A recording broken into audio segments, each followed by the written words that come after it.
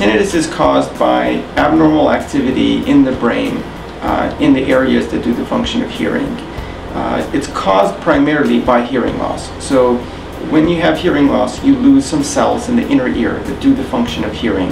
However, the cells in the brain that do the function of hearing don't die. And those cells have to find new things to do.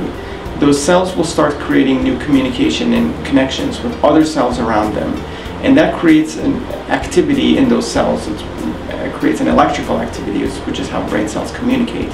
And that activity is picked up by the rest of the brain, is interpreted as sound. So the brain says there's something going on in the hearing part. That must mean there's some sound around, so you perceive it as a ringing or a humming sound.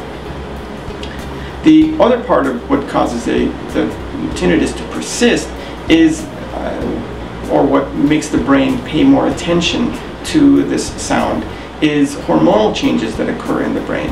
And those are usually related to one of three things, which are anxiety, stress, or depression.